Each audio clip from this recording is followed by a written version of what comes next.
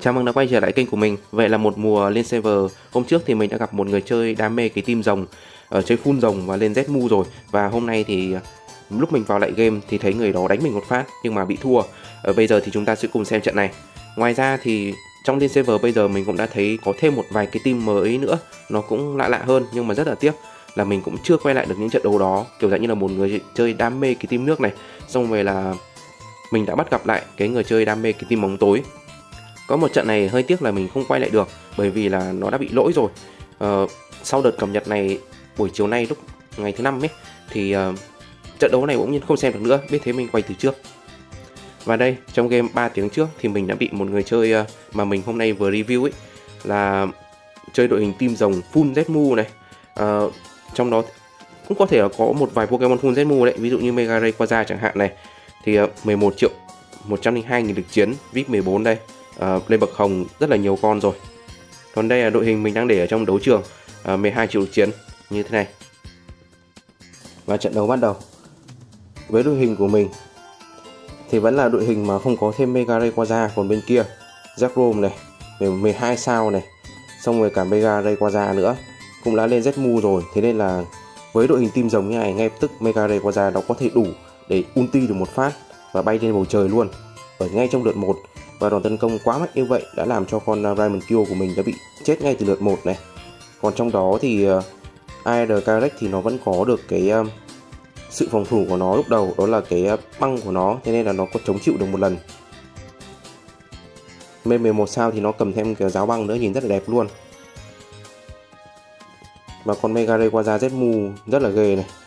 Một vừa rồi của Zekrom 23 triệu đã bay mất cả team của mình rồi.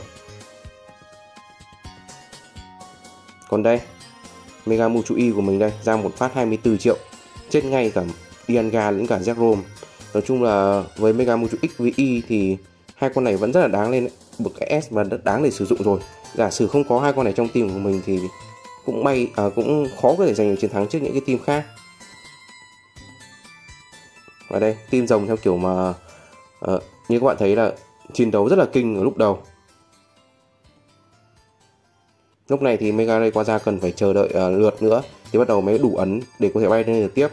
Nếu bạn mà có cái hàng phòng ngự vững chắc rồi ấy, bạn có thể chống chịu được cái team rồng lúc uh, khoảng lượt 1 lượt 2 như vậy thì bạn vẫn còn có thể giành được chiến thắng này.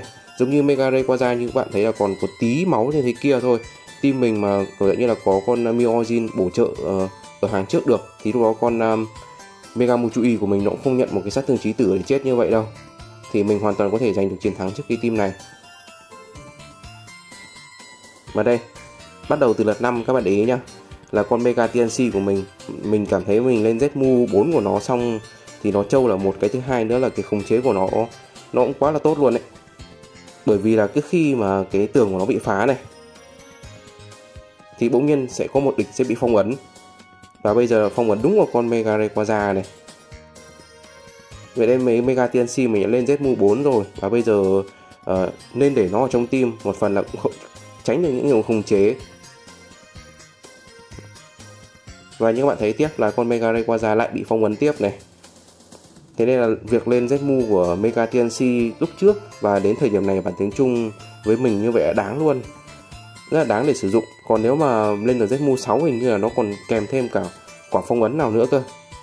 Mình thấy nhiều lúc mà phong ấn một phát ở trong đòn ulti là hai con.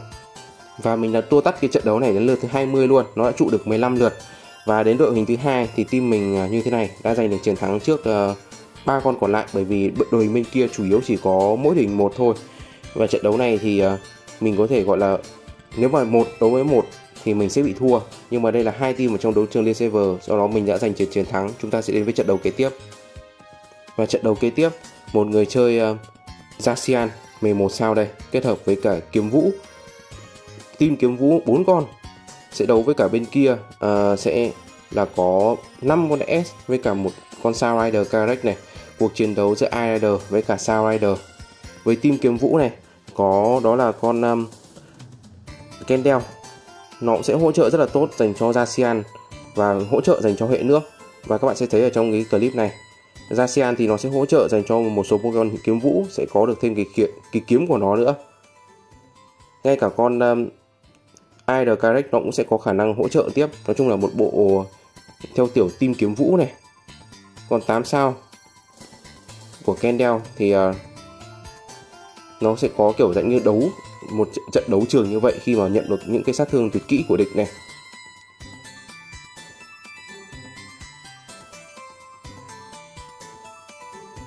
ASEAN đây 7 triệu tư này. Ít ra thì cũng có vẻ như là được cải thiện được xíu xíu nhưng mà so với cả những con bậc S cộng khác mà 11 sao dạng như nekoma chẳng hạn thì đòn tấn công 7 triệu tư vừa rồi của Zacian nó cũng không phải là quá cao. Còn đây là Kendall. Những cái quả đánh ké thêm của nó nữa gọi là rất là tốt luôn. Nó giúp cho hệ nước với hệ uh, Pokemon kiếm vũ có tấn công thêm được lần nữa này. Như bạn thấy đó là con ờ, uh, Diamond Kyo được đánh thêm một lần này hình như Mega TNC có được tính là kiếm vũ không nhỉ? Không rõ. Kendall lại ulti tiếp với cả Sao Rider Karek. Hai bên sẽ đọ nhau. Và nếu mà bên nào mà gây sát thương cao hơn thì sẽ được ra đòn tuyệt kỹ. Vừa rồi thì ờ, uh, Kendall nó đã có tuyệt kỹ sát thương gây ra cao hơn. Vậy nên là con sao Rider Karek trên kia không gây ra được sát thương này. Nên chỉ được kích hoạt được hai lần thôi. Mình cũng chưa dịch lại cái bộ skill mới luôn. Tạo bóng để đánh ké này. Cho nên Kendall như các bạn thấy ở trong cái đội hình này 8 sao, nhưng mà nó cũng đang thể hiện tốt này. Một đòn tấn công 4 triệu 3 vào con à, Mega Rayquaza và làm chết nguyên đấy. Và vì là con à, Mega Rayquaza chết phát là con à, Sao Rider Direct nó có thể ulti được. Địch hoặc là bên mình chết thì nó sẽ chạy ra một đòn tấn công giống như vậy. Nhưng mà rất tiếc, đó là con Kendall cũng chết rồi.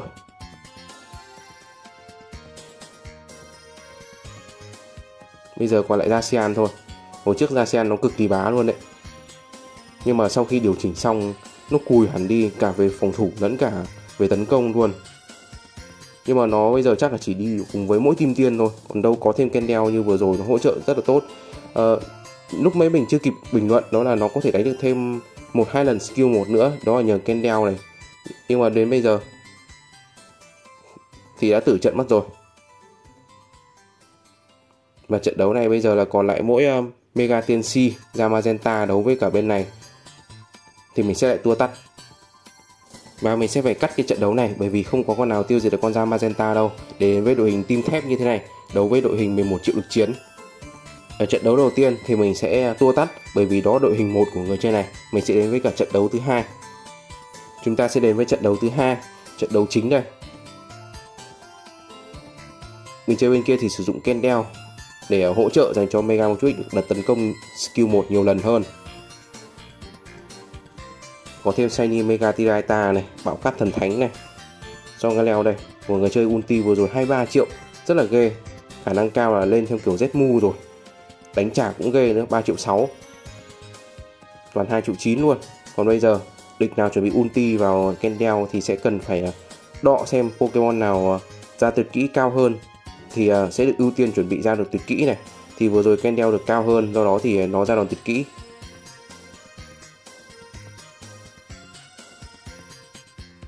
Xong Kendall đánh trả gây phết 5 triệu lận. Và bên kia sử dụng Memetro đó là 8 sao này.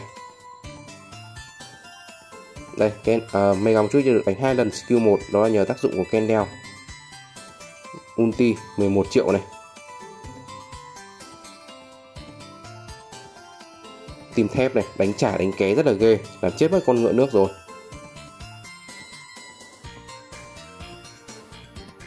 Bộ đôi đánh trả đây me metro với cả song galeo đây. Bổ mà con song à, con me metro đánh trả cũng gây phết đấy. Magena thì đã chính thức tử trận và làm cho con Raimenkyo kia ăn một đòn uh, quả cầu lửa này. Ở trên nói chung team thép bây giờ theo theo kiểu mà nó cũng sẽ có khả năng đánh trả nhiều mà bây giờ Mega Mochuic đây vừa đập với cả Dianga mà cóc đập được.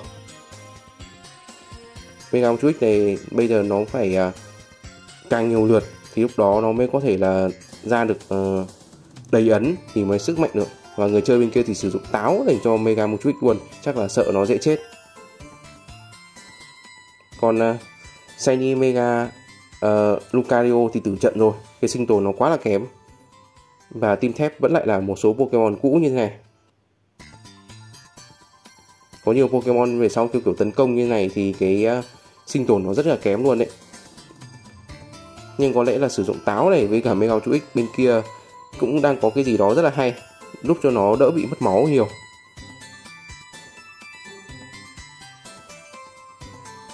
Mà con sông Galeo bên kia công nhận trâu thật. Tìm thép đây. Dianga này song Galeo này, đánh trả, xong rồi đánh thêm rất là nhiều luôn. Bổ mất 5 triệu 6 triệu 3 triệu 9 chết ngay con Shiny Mega Tiraita rồi.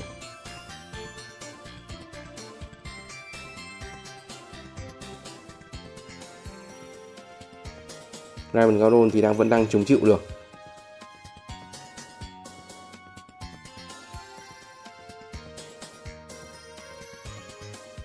Đập với cả Memetro này khi dạp đập được một con.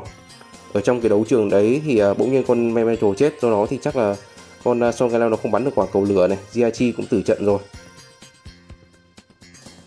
Đánh trả đánh ké liên tục luôn làm khổ thân cả con cá.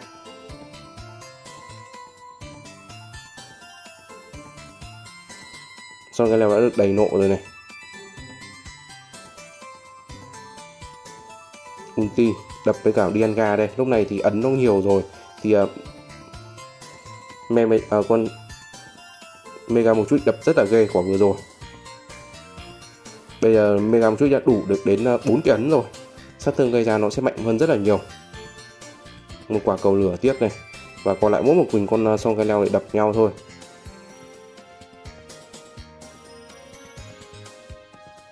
Và không đập được. Chết. Hai ba con liền một lúc đánh trả chết. Và bây giờ còn lại đó là solo giữa Mega Mewtwo X trận chiến cuối cùng. Lúc này thì Mega Twitch nó sẽ sử dụng toàn bộ gắn của nó đánh đến khi nào mà hết thì thôi. Và Son Galeo đã thua trận này bên Mega Twitch thắng hên và trận này một mình Mega Twitch ở đội hình bên này đã giành được chiến thắng trước à, uh, 6 con bên kia theo kiểu mà nuôi yếu không đọ được. Và trận đấu tới thì chúng ta sẽ cùng xem trận đấu của hai người chơi. Một người chơi team bóng tối, Ma, một người chơi cái team tiến đất đá và kèm theo cái team ờ, thập cẩm ở hàng sau. Và thêm một team nữa, một đội hình team nước đây, một người chơi cực kỳ đam mê team nước. Hai đội hình đều là nước và đấu với cả đội hình bên kia uh, team uh, siêu về tiên. Và thêm một đội hình nữa, đó là một đội hình uh, những bậc S kết hợp thêm cả Necroma